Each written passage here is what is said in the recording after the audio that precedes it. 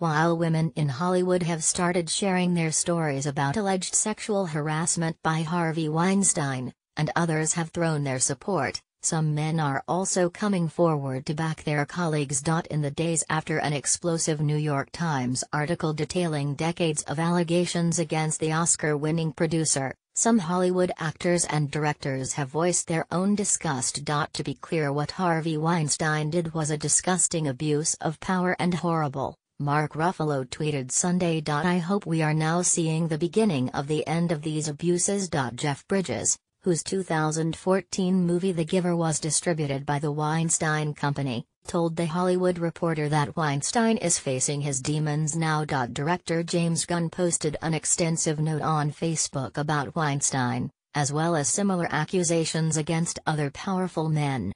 As we've discovered lately with the numerous sexual allegations against Harvey Weinstein, Bill Cosby, Roger Ailes, and Bill O'Reilly, sexual predators have no political affiliation. They are Republicans, Democrats, Communists, Nazis, Green Party, Whigs, and whatever the hell else is out there.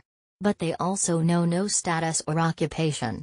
Yesterday, I tweeted that if even one tenth of the stories about Harvey Weinstein are true, and I believe they are, then good fucking riddance.